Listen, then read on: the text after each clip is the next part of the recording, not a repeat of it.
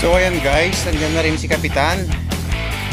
Nag-uusap kami, sabi ko, nung nakita kong nasa 56 na yung bilis ko, nag-alalay na ako kasi natakot ako kasi sobrang bilis na yun para sa akin. Kaya sabi niya, wag ko daw tignan yung speed meter. Dapat diretso lang daw. Kaso, siyempre, nag-iingat tayo para hindi tayo madisgrasya.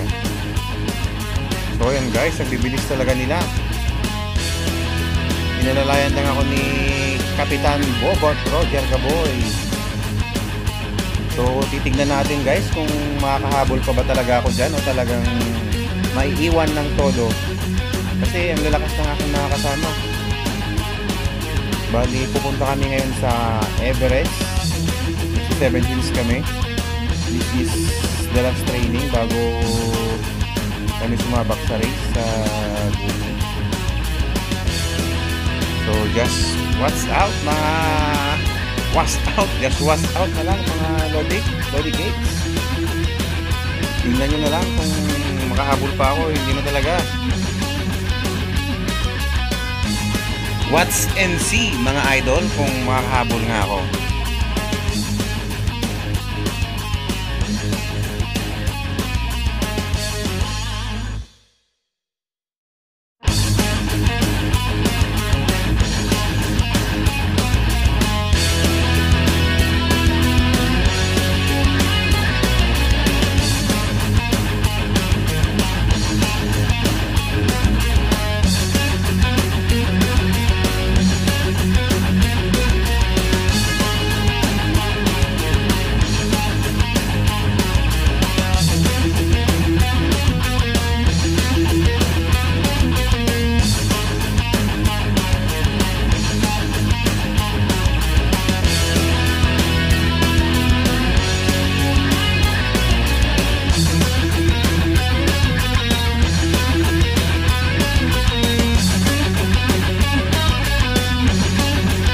Guys, dyan na nga, pulelat na nga talaga ako dyan.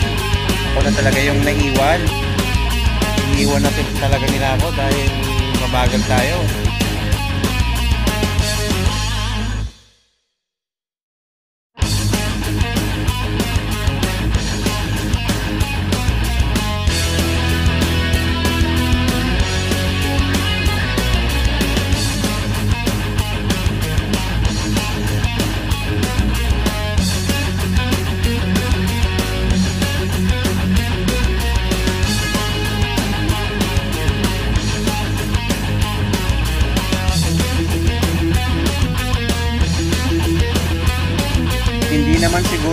To mga idol.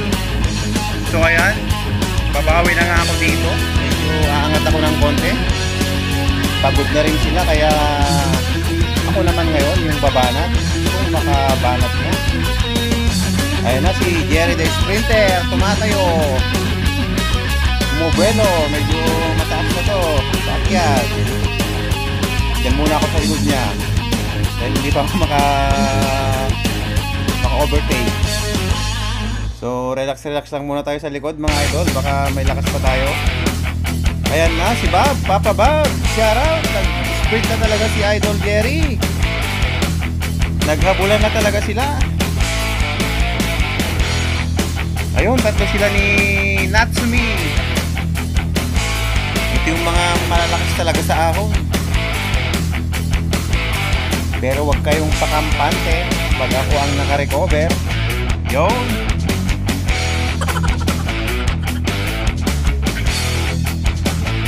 Medyo napagod na rin sila mga idol.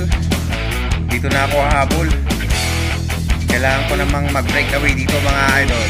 So ayan, kinukuha na ako ng video ni Idol Bob. So ang takbo natin, packet, medyo hindi naman masyadong mataas yung brake eh. Nasa 27 kinagad ko na dito mga idol para mauna naman ako sa kanila so ayan breakaway tayo ngayon pero mamaya tingnan natin kung sinong makahabol sa kanila. Alam ko hahabulin ako dito ng pinakamalakas. Yung king of the mountain. Wala nang iba kundi si Papa Bob Aero pero wala pa siya.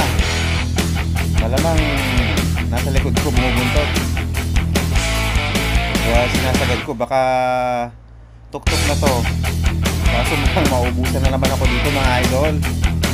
Mukhang ubus na naman ang ating lakas. Ang takbo lang natin 12. So ayan guys, malapit na yata sa tuktok. Pero po, puro siko pa rin ang nakikita. May paligo-ligo pa. Kaya magpapahinga na naman tayo dito. Takbong 8, 7, 6. Wala na mga idol. Laglag na naman tayo dito. Kaya siguradong may mga kahabol sa akin dito kasi nilabas ko agad yung lakas ko kanina.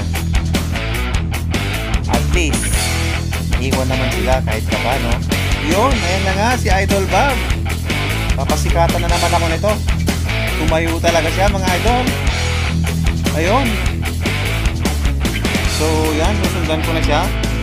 Pero, hindi ko na siya makusundan talaga. Mauna ka na lang, Idol Bob. Sunod na lang ako sa'yo.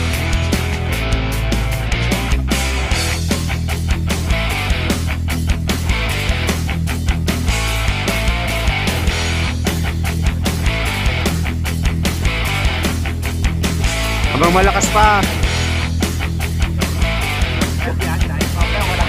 Video. Yun, yung mga kasama ko, naiiwan na. naiiwan sa unahan. Nakasingilin pa yan ha. Naiwan ha, kayo pa nang galing ha. tigas ha, tigas ha. Ha. Yan na, okay na yan. Hindi ko na kaya. Nakalive pa rin yun. Kuya, Hindi. may nagpapel pa ko yung picture. Ay ano?